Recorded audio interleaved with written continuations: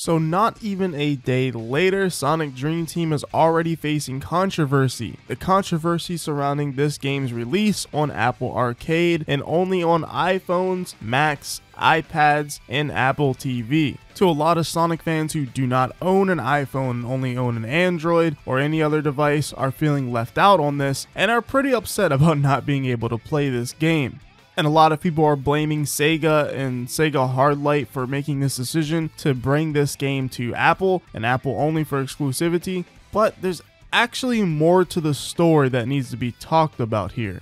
And there's also a glimmer of hope for it coming to other devices. But I'm also going to talk about my own personal opinion why I think this Apple exclusivity is not bad surrounding the context of it, and you'll see why. But I'm sure a lot of you may actually disagree with me, but that's fine. I'm just sharing my opinion. You can always share yours in the comment section below. But before we hop right into it, Yo, hold up. Did you know that 70% of you guys are not subscribed to the channel? A lot of you guys keep on returning to these videos, so those of you who keep coming back, why not hit the subscribe button? And if you're new here and you end up enjoying this video, I hope that makes you want to subscribe. Thanks guys. So like I mentioned before, the game obviously has Apple exclusivity, but here's the thing surrounding it. This game was actually funded by Apple themselves. Apple Arcade has a hand in development for Sonic Dream Team as well as many other Apple Arcade games as their whole goal with Apple Arcade is to fund millions and millions of dollars into games to hopefully make a profit back through their subscription service. And they do this so people can put complete games on Apple Arcade, no microtransactions, just full games that work and don't have anything strange going on with monetization. They have done this with many other games, such as the Shantae game that came to Apple Arcade even before it came out on consoles. They have also done it with the creator of Final Fantasy, his game Fantasian, which was really funded by Apple Arcade to be a massive RPG on mobile phones that is reminiscent of older Final Fantasy. It also doesn't hurt to mention that Apple Arcade actually is the biggest video game subscription service at 100 million subscribers, compared to PS Plus at 45, Switch Online at 36, and Game Pass at 25. But that's besides the point. So when I'm saying all this, I'm really saying that Sonic Dream Team from the very, very beginning of making this game was always going to be funded by Apple. So what I'm really saying is this game would not exist without Apple funding the game or Apple Arcade because this game is a huge project for Sega Hardlight compared to Sonic Dash and these other games. The quality difference is insane. They've basically been bumped up and upgraded to making a full-on 3D Sonic game, although it looks like it may be a short game, but overall, in terms of quality for a mobile game, this is almost like Sonic Generation size.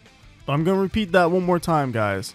As much as we may not like this exclusivity, it wouldn't exist without Apple, literally. And I know some people are saying things like, well, then it probably shouldn't exist at all. And honestly, I think that take is way too crazy to say this game shouldn't exist at all because it's not on all platforms, then should Nintendo games never exist because they're not on all platforms? I feel like that's a little dumb. And I also have seen people say a Nintendo Switch is more affordable than an iPhone actually not true. You can get an iPhone SE that will be able to run this game for about $100. You can get an Apple TV for about $170. A Switch is like 300 or $350. It's actually cheaper to get a cheap iPhone to play this game than getting a whole Nintendo Switch to play Nintendo games. I just don't really think it's a fair argument to say it should have never existed at all just because it can only be played on one platform. I think that's kind of crazy and pretty hypocritical when you think about other games in the gaming sphere. I just think it's because mobile mobile gaming has a terrible stigma, and honestly, it's deserved because of how mobile games were in the past. But a lot of mobile games now have been just a lot better and feel more like actual games these days and are a more viable platform to play games. So saying it shouldn't exist just doesn't really feel fair, I guess.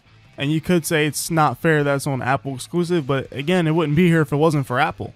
I think if Sega Hardlight tried to tackle this game with Sega funding most of this, it would not look like this. I don't think they would fund that if I'm being honest. I think this game would never exist to this degree if Sega never partnered with Apple to get huge funding for a Sonic game. So it's probably better that it's here at all and you have the chance to actually play it if you just get an Apple device, even a cheap one. Or even if you don't want a phone, an Apple TV can run it, a Mac can run it. And honestly, the best option here if you don't want a phone is truly an Apple TV. I mean, it has streaming apps on it and you can also play games on it. An Apple TV is kind of like a PlayStation TV a little bit if anybody remembers those things. You can play PS Vita games on the PlayStation TV. This is kind of a similar concept. But with that said, there still is actually hope for this game not staying here. Now, I'm going to be honest, Sonic Dream Team's going to be on Apple Arcade for quite a while, that's for sure. But when it does come to other platforms, or if it does, it will likely be coming to PC and not other Android devices or anything like that, but just probably the PC. For example, the game Fantasian is also an Apple Arcade exclusive and funded by Apple, just like Sonic Dream Team, but it now actually has a Steam listing.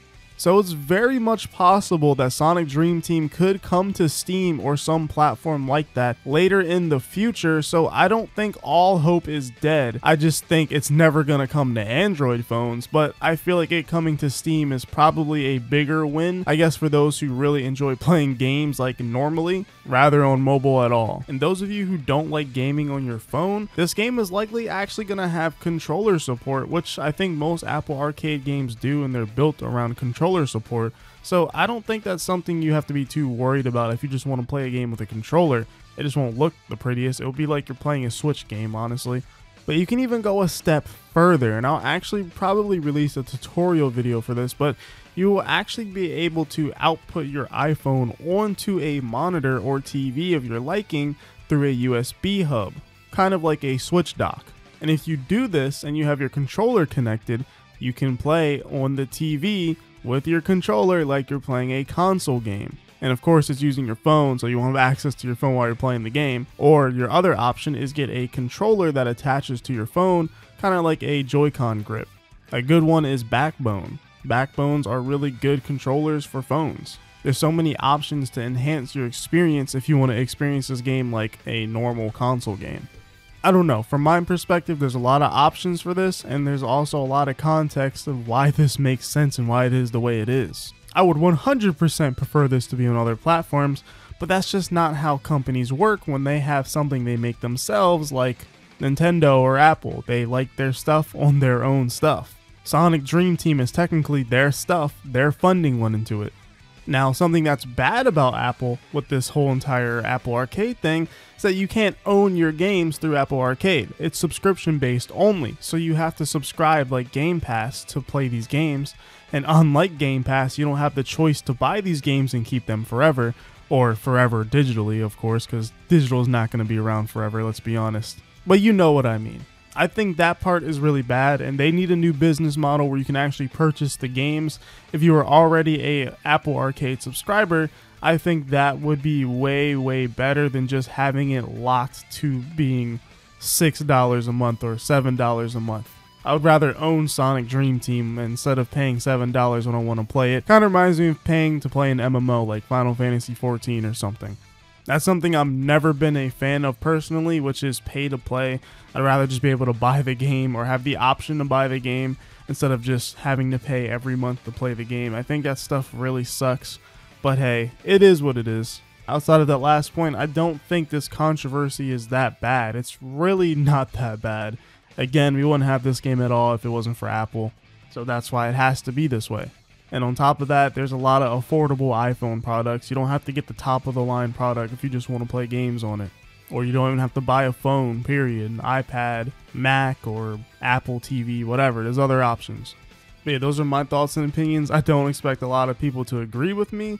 But, anyways, let me know in the comments below. What are your thoughts? Um, I know some of you guys are probably disappointed because you don't have Apple products. So it's like, dang, this is trash. Trust me, I've been there before. I understand but it makes sense. I think it's just gonna have to come down to acceptance a little bit. If you guys enjoyed this video, make sure to hit the like button or not and subscribe, and I'll see you in the next one. Well, whatever happens, happens.